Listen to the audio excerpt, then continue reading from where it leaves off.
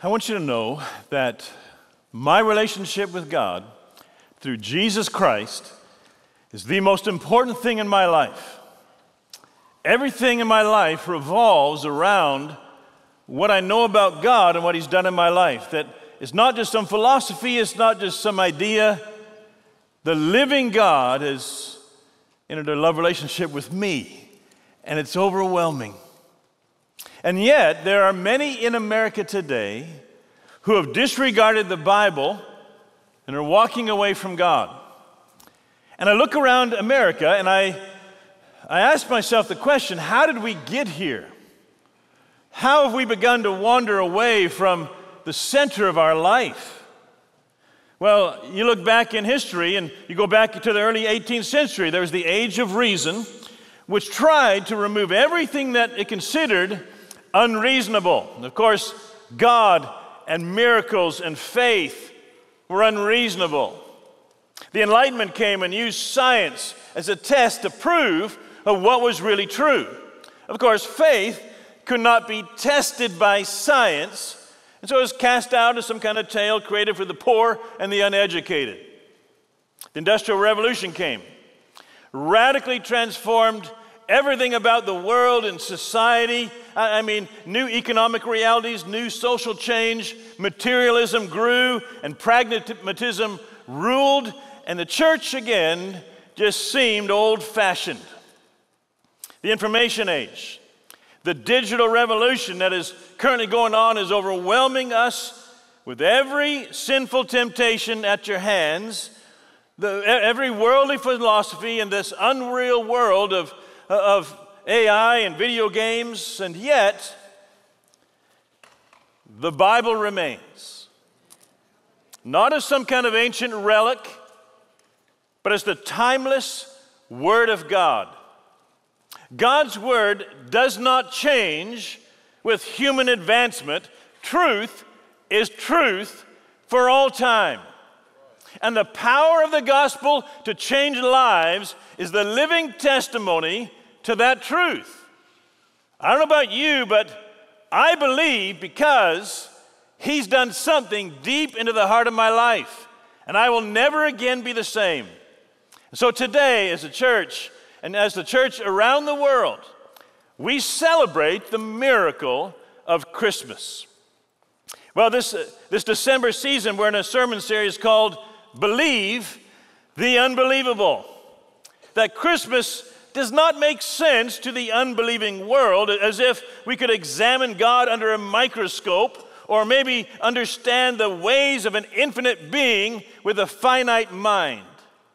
And while we seek knowledge of the universe by, by sending spacecraft 34 million miles to collect rocks on Mars, the creator of this universe has already spoken. Jesus willingly came to earth born of a virgin, died for our sins because God so loved the world. Well, the sermon today is the Immaculate Conception. We've read the story already in Matthew chapter 1, verse 18 through 25. That Christmas story is not some kind of holiday lore, it is biblical history. And the birth of Jesus is just as significant as the death of Jesus. Now, now, rightfully so, we talk often about the cross and the resurrection. But listen, the coming of Jesus, how he came, the birth of Jesus is just as significant in the gospel story as his death. The angel said to Joseph, Mary will bring forth a son. And You will call his name Jesus, for he will save his people from their sins. And behold, the virgin shall be with child, bear a son, and they will call his name Emmanuel, because that means God with us. Well, the first thing I want you to see in our passage is that the virgin birth was fulfilled prophecy. In this passage, there's a unique statement. And for some reason, it just kind of jumps out at me. It's verse 22 and 23. It says, almost in passing, it says, So all this was done that it might be fulfilled, which was spoken by the Lord through the prophet, saying. Now, Ma- Matthew is basically saying that because it was prophesied, it must come true. That because God Himself encountered Isaiah and He spoke a promise, and because God is sovereign over all things, God would see to it that His promise would be fulfilled. Because whenever God speaks, it is done. When God speaks into our life, there's no turning back. Every promise in the Word of God is guaranteed by the character of God Himself. If God speaks it, He's going to be true to His Word. And I, I, don't know about you, but I'm comforted to know that I can count on God's promises in my life. I can trust the Word of God. Because when God speaks, He's God. He is not controlled by any force outside of Himself. He will fulfill that which He has proclaimed. But can you imagine the couple through whom He will fulfill His promise? Like God lives on this plane where He's in absolute control of all things, sovereign over the universe, but we live on this fallen world and we, we can't quite seem to grasp the, uh, man, the, the, the amazing capacities of God. And so the couple through whom He would fulfill His promise, can you imagine how they'd respond? Joseph didn't believe. He couldn't get in his mind that this was absolutely true. He planned to put Mary away secretly and abandon the marriage because the only explanation for her pregnancy was that Mary had been with another man. Now, in the Jewish world, engagement was equivalent to marriage, except that a man and a woman do not live together they, they, they, were called husband and wife, and at the end of the engagement, the marriage was consummated. But if in the engagement the woman became pregnant, it was considered adultery. You see, this was a serious matter. And, and I imagine Mary trying to explain. Can you, can, you, can you picture yourself as Mary?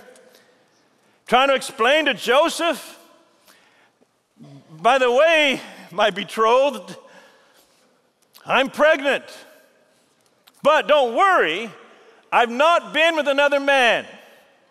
How crazy would that sound? But of course, that's impossible. It did not make sense to human reasoning. His mind could not believe that Mary was still a virgin. How could he believe that which is unbelievable? Listen, the virgin birth makes no sense to human reasoning, but it makes perfect sense in the mind of God. That's why an angel came to Joseph. It was unbelievable. There's no way he would believe Mary because it was impossible. He had to have somebody else come and explain it to him. So God sent an angel to come. Because with God, nothing is impossible. He sent a messenger from God, a messenger from heaven, to come down and say, I know this doesn't make any sense, but listen, the things on earth are not like the things in heaven. Nothing is impossible with God the one who speaks and things happen that the natural world cannot understand. You see, it would take a messenger from God to convince him. In verse 20, it says, The angel of the Lord appeared to him in a dream, saying, Joseph, son of David, don't be afraid to take Mary as your wife, for that which is conceived in her is of the Holy Spirit. Joseph found himself right in the middle of a miracle, the incarnation of God. But Mary also struggled. In the Gospel of Luke, it tells the story of Mary's encounter with the angel Gabriel. And Luke makes it very, very clear, there's no doubt. And of course, Luke was a physician, he was a doctor, a medical person. He wanted to make sure everyone understood eh, she was really a virgin. Luke 127, the angel Gabriel was sent by God to a city of Galilee named Nazareth to a virgin betrothed to a man whose name was Joseph of the house of David, and the virgin's name was Mary. He wanted to make sure everyone understood what was going on here. And here's what the angel said And behold, you will conceive in your womb and bring forth a son, and you will call his name Jesus. And Mary's reply was very honest. In verse 34, it says, How can this be? Let, let, me, let me translate that for you. You're crazy.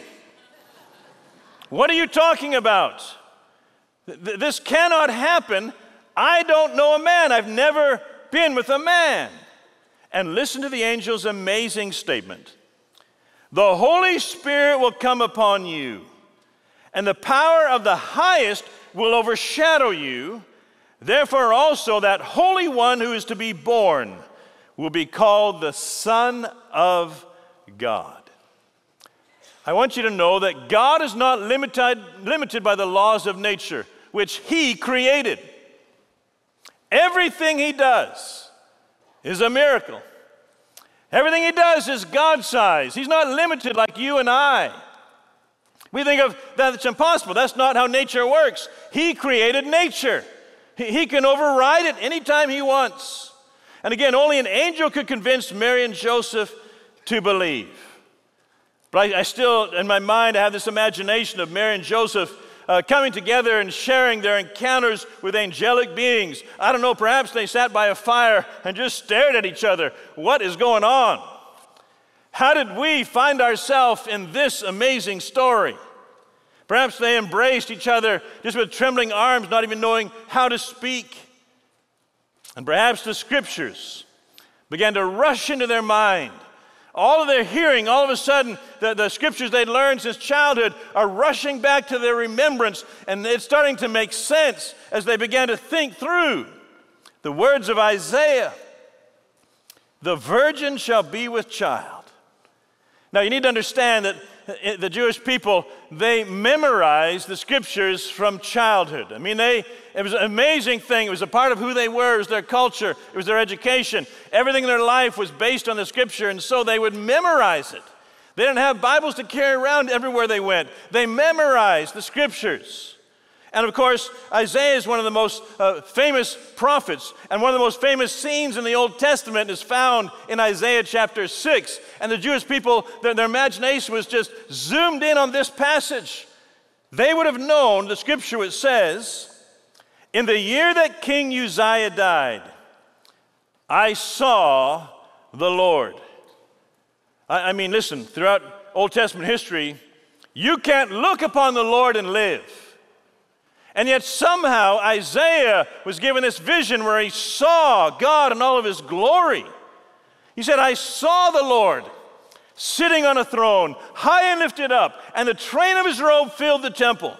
And above it stood seraphim. Each one had six wings. With two he covered his face, with two he covered his feet, and with two he flew.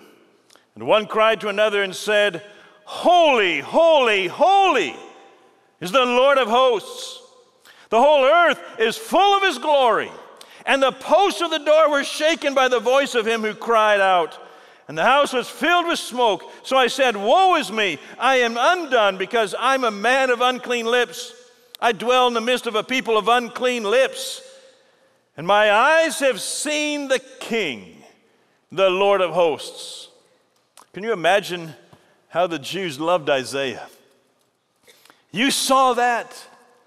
He saw God in all of his glory. Do you understand why they studied such a great book? And I guarantee you they would have read the very next chapter in that same book in Isaiah 7:14 which said, "Behold, a virgin will be with child." Words written maybe 700 years earlier had been imprinted into Mary's mind.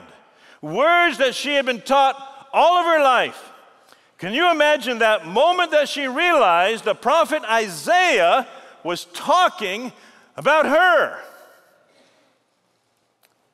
Can you imagine that moment when this realization, what we all studied in school, this great prophecy, it's me. The one who saw the Holy One sitting on his throne also would prophesy of his coming to earth the absolute wonder of it all. And the Bible simply has this statement Mary pondered these things in her heart. I bet she did. I bet she stayed up late at night pondering What in the world? Why me? The virgin birth was promised by God, prophesied by Isaiah, and fulfilled through Mary. But the second thing, the virgin birth was necessary for our salvation. For us to be saved, the virgin birth was absolutely necessary. It is critical. It could not happen without the virgin birth. That this impossible idea was made possible because there was no other way for us to be saved. Now remember, Jesus existed before Mary and Joseph. Jesus existed before the worlds were formed, before time itself. And the way in which Jesus came to earth was necessary for several reasons. First of all, the virgin birth was necessary for God to break the power of sin. The virgin birth was necessary, it was, it was critical to break the power of sin because Jesus did not have a human father, he did not inherit Adam's sinful nature. Romans 5:12. It says that through one man sin entered the world, and death through sin, and thus death spread to all men because all have sinned. That sin nature that we all struggle with came because we are descendants of Adam. And when sin entered through his life, all mankind, everybody would also be tainted with that sinful nature. But Jesus was not tainted by the seed of Adam. Jesus was the spotless Lamb of God who would be our holy sacrifice for sin. That Jesus became the new Adam, the new beginning, the only one who could save us from sin through his sacrificial death on our behalf. Romans 5 19. For as by one man's disobedience, Adam, many were made sinners, so also by one man's obedience, Jesus, many will be made righteous. You see, the virgin birth broke the chain of sin passed down from Adam. That finally, there was one who was not corrupted by sin the Holy Son of God. But, but also, the virgin birth was necessary for God to provide a Savior. See, God did not just shout down from a distant heaven, Hey, I love you down there. No, He came down to earth and He loved us face to face. Remember what the angel said to Mary? The Holy Spirit will come upon you, the power of the highest will overshadow you. Therefore, that Holy One that's going to be born is going to be called the Son of God. His birth could not be like any other birth.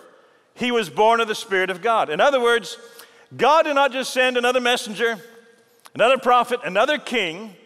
No, this time he got up off his throne and said, I'm coming down there. Emmanuel means God with us. And when fallen humanity could not overcome sin, God satisfied his own righteous demands, and he paid a price that we could not pay. But there's another reason why the virgin birth was so important. The virgin birth was necessary for God to provide a substitute for humanity. Jesus was fully God, and he was fully man. He was born of Mary, he had flesh and blood. You see, he could not take our place unless he first took our condition. So Jesus took on flesh that he might redeem all flesh. And when I think about this virgin birth, I, I just think about how much God loves us. He knows our condition. He took on flesh and he walked this earth. He understands us. He knows the weight of our sin because he carried that sin on his shoulders. He knows the only way for us to be free because He is the one who died on the cross to set us free. He knows our future. He's gone before us to prepare a place. I mean, it doesn't matter who you are, what you've done, the virgin birth was necessary to cover your sin. Jesus came to save the lowly sinner, and he also came to save the high and the lofty sinner. He came to earth and he found that the high priest and the harlot were equally lost. They both needed a Savior. And today, if you are somehow frustrated by religion, you're actually in good company, because so is Jesus. God had created us for a love relationship with Him, but religion had turned this relationship into a bunch of rules. And people were stumbling over the rules and never actually got to the relationship. The religious leaders of that day, they no longer were asking the question, How can I know God? How can I walk with God? How can I love God? They weren't asking those kind of questions. They were asking, How can I avoid evil? How can I keep myself away from everyone who's unclean? How can I separate myself from a dark and fallen world? How, and, and so they would avoid sinners everywhere they went. They didn't want to be corrupted or tainted or get around or associate with lowly sinners. They were all about avoiding people broken in sin, but not Jesus. Aren't you glad? Jesus came for people caught in sin. He didn't avoid them, He got involved in their lives. He hung around tax collectors and fishermen and harlots and the demon possessed, the very worst of society, and he gave them life. He gave them dignity. In fact, one of his nicknames was, He's a friend of sinners. And aren't you glad? That means He's your friend, and He's my friend. That Jesus left the perfection of heaven, came to a fallen world, dark and full of evil. Why? Because Jesus loves you. He chose to get involved in your life. He knows you are a sinner, and He knows you need a Savior. Jesus came to save us from our sin and to change us to the very core of who we are and I want you to hear this the change in us is what convinces people to believe the unbelievable. They ought to look at your life and say, That is unbelievable. What God has done in you, the way you treat people, the way you see this world, the way you live your life, the way you invest your life. What happened to you? Because you're not acting like the world around, something in you has changed. You know, a few days ago was December 7th. What's December 7th known for? It's Pearl Harbor Day, the day we remember the bombing of Pearl Harbor. Well, on the screen, you'll see a picture of the USS Arizona. It's burning after the attack. It was a horrific day in American history. 19 naval ships were destroyed or severely damaged, including eight battleships. 2,403 personnel died on this attack. Well, there's a man named Matsuo Fuchida. He was the Japanese pilot who led the attack. This was the man who led the attack on Pearl Harbor. One of the most, he became one of the most notorious villains in American history. The surprise attack, this is the man who led that attack. Well, the next picture you'll see the bomber that he actually flew. It's, uh, you can see it kind of shot up and is damaged. This was the Japanese bomber that carried out such a daring raid that took so many American lives. Well, he was trained by the samurai code. And, and it, it, simply means that he was trained, that, that, that he was demanded to have hatred and revenge upon all of Japan, Japan, Japan's enemies. And the day of the attack, he would gather his fellow airmen and he made this statement. He said, It is our duty to annihilate the enemies of Japan. This is our duty. Annihilate our enemies. Well, he, he became a Japanese hero. In fact, he's one of the very, very few people who ever had the privilege to meet the Emperor of Japan because of his, his, his uh, success. But something changed in his life. Several miracles caused him to question the meaning and the purpose of life. Well, you see a picture of Hiroshima. Well, he was in Hiroshima on August 5th, 1945, The very next day, his hotel was vaporized by the first of two atomic bombs that America dropped on Japan. He lived, but those attacks ultimately caused Japan to surrender. And with his homeland ruined, he found himself with no purpose. And he began to wonder why his life was even spared. But what ultimately changed his life, radically changed his life, was two American Christians. One was a prisoner of war, and one was a nurse. Well, here's Jacob DeShazer. He, he was a pilot in the Doolittle raid on Tokyo, April 1942. You know the Doolittle raid? A famous raid. It, it was a chance for America to try to hit at the heartland of Japan because they were so isolated, so far away. How do we actually strike their homeland and let them know that they're not vulnerable to our attacks on their land? Well, he was chosen as, a, as one who would fly one of 16 B 25 bombers that would be the very first to drop a bomb on the homeland of Japan itself. But here's the problem what made the attack so daring is that the bombers, of course, they're big and heavy, they need a long runway to take off, but these planes would be taking off from a short runway on an aircraft carrier. They had to lighten everything up. They had to try to do everything to make the plane lighter so it would take off. They had to get the aircraft carrier heading into the wind as fast as it could to try to get these huge bombers off the, the, the, the, the landing there. And so it took a great daring. They didn't know that it could be done, but they did it. The raid was a success. But DeShazer was captured and spent 40 months in a Japanese prison being tortured and mistreated. But while he was there, he somehow got his hands on a Bible and he was saved. He was gloriously saved. He began to pore over this Bible of what God would have him to do. And he read in his Bible that he has been called to love his enemies.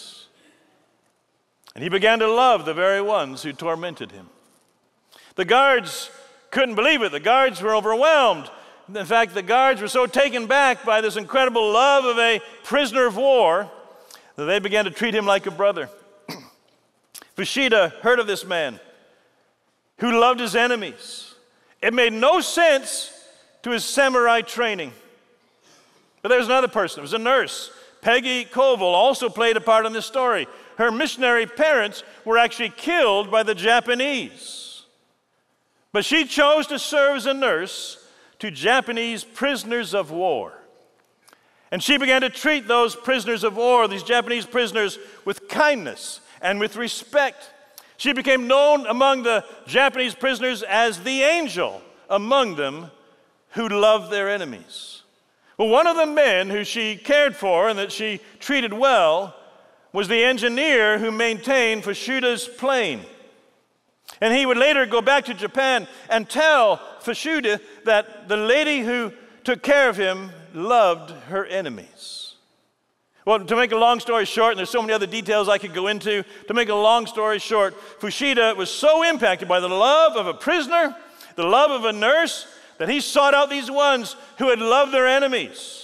And Fuchida uh, and the American prisoner became friends, and he was led to Christ. He got saved.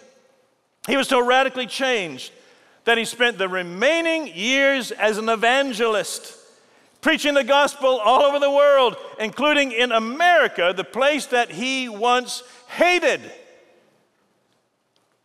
And for the rest of their lives, enemies lived as brothers in the family of God. Love conquered hate.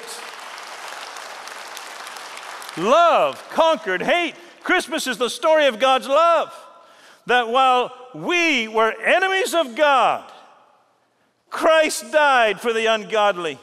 He died for us. It's unbelievable, but it's true. And now we are called to love others just as God has loved us. The scripture says the world will know that we are Christians. How? by our love. And it all started with the virgin birth, where God came to earth. He got involved in our lives. He came to the fallen, the broken, the rebellious. He came to save those who were enemies of God. And today we celebrate the miracle, the unbelievable. We celebrate the virgin birth of Jesus. And it reminds us that salvation comes from above. It is initiated by God Himself, that God's love came to us. And because of Jesus, there is now hope for every last person that walks this earth. And we, as children of God, reflecting the nature of God, love everybody in the name of Jesus, that they too might believe the unbelievable. Let's pray. Father, I thank you so much that this Christmas season, we can know without a question of a doubt that we are loved by Almighty God. We are loved so much that you would send your only Son to live and die and be resurrected, that all who would believe in him would not perish but have everlasting life. Father, I thank you that that love that came to us while we were enemies of God, in rebellion to God, Father, I pray that it would so change us that no matter where we go, no matter who we encounter, that they would sense the love of God in us. No matter what we're going through, there's a God who cares. No matter what trials we face, no matter how broken we are, no matter how much we've done to offend you and offend others, that there is hope in Christ. And only in Christ will it be well with our soul. In a dark and weary land, there is peace with God. It's in Jesus' name that we pray. Amen.